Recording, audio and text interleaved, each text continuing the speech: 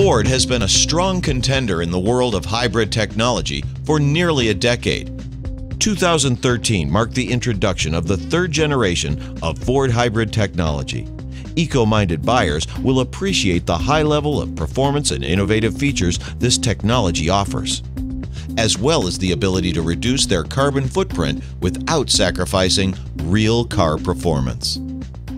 An essential component of the Ford hybrid technology is the power split hybrid architecture.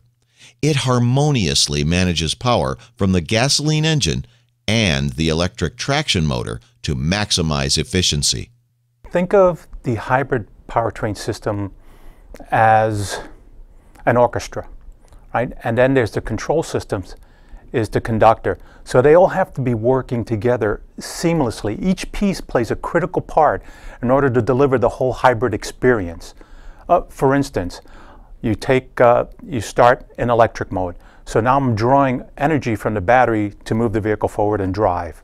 Uh, I step on the gas pedal and let's say I want to accelerate onto a, a ramp. Well, in doing so, now the 2-liter Atkinson engine plus the electric traction motor combined together to give you maximum performance. The 2-liter Atkinson Cycle i4 engine has been designed to deliver outstanding acceleration and response, making it a true fun-to-drive experience. It's smaller than the previous generation engine and delivers a respectable 141 horsepower and 129 pound-feet of torque. Think of an Atkinson engine as an engine that uses different valve timing. So when I say valve timing, that's when, as the engine's rotating, it lets air in and out of the cylinders. So when it's doing that, it holds the intake, so the intake is breathing in, holds it open a little bit longer while it's also open into the compression stroke, which is the exhale part of it, going out the exhaust system. By doing that, the engine thinks it's a smaller engine, so it uses less fuel, so you get the fuel efficiency.